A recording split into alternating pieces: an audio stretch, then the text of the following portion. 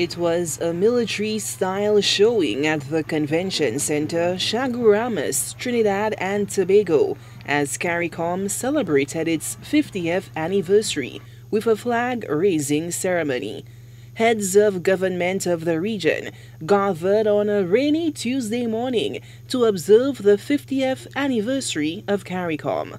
Chaguaramas holds a special place in our hearts because of its role in the creation of the Caribbean community. Had we been present 50 years ago on these very grounds, we would have been privy to events that changed the course of our region's history.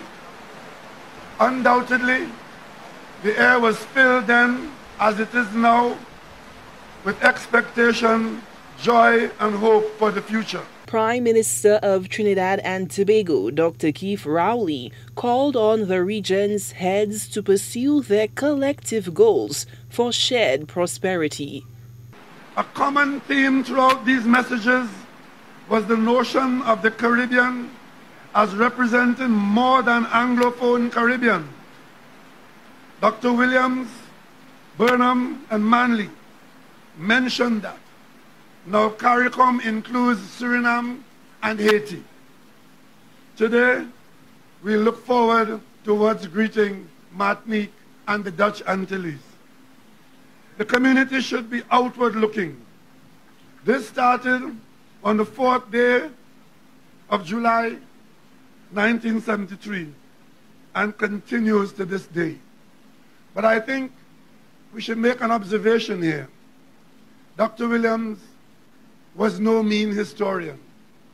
And it is not by accident that the CARICOM seed was sown on, January, on July the 4th in this old American naval base on the Independence Day of the United States. Each head of government of CARICOM signed the Treaty of Chaguaramas. St. Lucia.